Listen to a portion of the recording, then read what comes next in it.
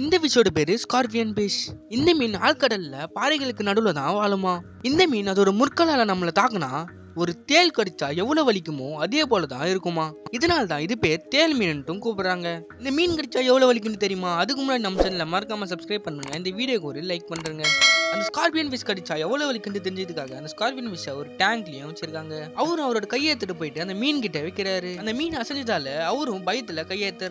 second time அவரோட கையெடுத்துட்டு போயிட்டு அந்த மீன் கிட்ட வைக்கிறாரு அந்த மீன் அதோட முள்ளால அவரோட கையை பலமா தாக்கிடுது அந்த மீன் தாக்கின கொஞ்ச நேரத்திலேயே அவரால் வலி தாங்க முடியாத கத்த ஆரம்பிக்கிறாரு நேரம் ஆக ஆக அவருக்கு பயங்கரமான தலைவலி ஏற்படுது ஒரு மீனால எவ்வளவு வலி ஏற்படுதுன்னு பாத்தீங்களா இந்த மாதிரி வீட்டுல யாரும் ட்ரை பண்ணி பார்க்காதீங்க இந்த மாதிரி இன்ட்ரெஸ்டிங்கான ஃபேக்டுக்கோசம் நம்ம சேனலை மறக்காம சப்ஸ்கிரைப் பண்ணுங்க இந்த வீடியோக்கு ஒரு லைக் பண்ணுறேங்க